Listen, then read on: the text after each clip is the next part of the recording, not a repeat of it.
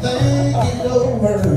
Put yourself in my unique position. And I get sing all night long. It's just a family tradition. You don't really know Hank why do you drink? Get drunk. Why you don't smoke? Get.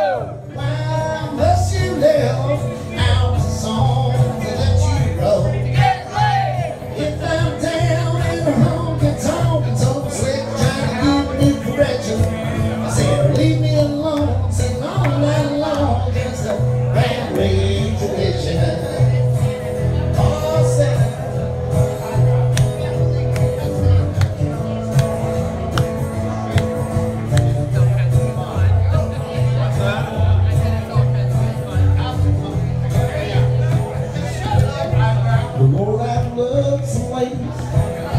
And I am looking back over them tried to kill me in 1973. When that doctor asked me, he said, son, how'd you get in this here condition? I said, hey, sawbones is carrying on the family tradition. So don't ask me, hey, why do Let's go!